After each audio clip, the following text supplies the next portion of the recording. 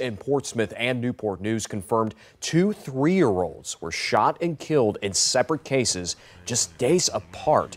Tonight, News 3's Kelsey Jones is taking a closer look at proper gun safety as this issue impacts families. Police confirmed that a loaded gun left unattended took the life of a three year old boy in Portsmouth Monday. And on Friday, another three year old was accidentally shot to death in Newport News. So I spoke with a local retired police officer about this growing concern. A possible three year old that was shot in the head. First, we have to recognize that we have a crisis at our hand. And I don't think that some people recognize it yet, but we do. The situation is getting worse. Gun violence leaving families heartbroken and kids dead. Until something is done, children are going to continue to die. We are seeing it firsthand here in Hampton Roads. Monday, I learned through court documents that a three year old was shot and killed by a loaded and unattended gun. Just a few days later, a three year old in Newport News was accidentally shot to death. Both of these cases come after a two year old was accidentally shot in Portsmouth last August. When we're dealing with these type of situations, it's it's a whole community that starts to hurt Daryl Redman runs an anti violence group in Portsmouth called Give Back to the Block.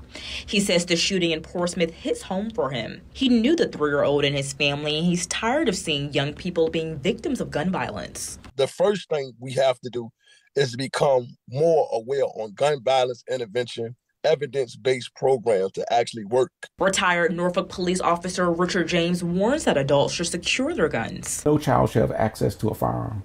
It is a dangerous tool. People that work here at Bob's Gun Shop in Norfolk say there's many ways that you can safely secure your gun at home, especially if you have young children. A couple tools can be this here lockbox, a trigger lock, and gun safes.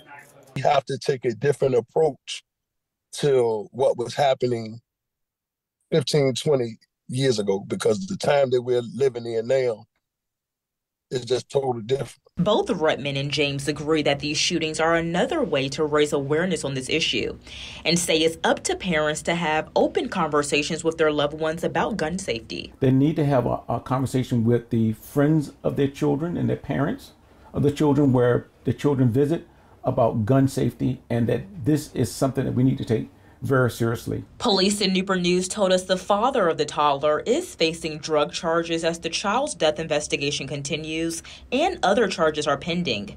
Meanwhile, in Portsmouth, 20 year old Jaquan Askew, a man who police say was inside the home at the time of the incident, has been arrested and charged with allowing access to firearms by children. In Norfolk, I'm Kelsey Jones, News 3.